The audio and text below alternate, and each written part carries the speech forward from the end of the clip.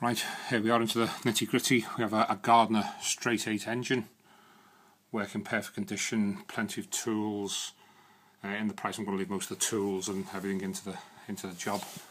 Um, I'm just second tired, I'm getting old now from messing around, so uh, I say everything was completely rewired in the boat. I've got a new calorifier, um, all plastic plumbing, all the, all the plumbing pipes, everything was taken out. Uh, pressure water pump, it's dark in here. Um, plenty of battery space. They've got two 24 volt batteries and 12 volt battery banks. And then we have a, a 12 and 24 volt charger inverter. Um, again, some radiators in the engine room as well to keep the engine nice and warm.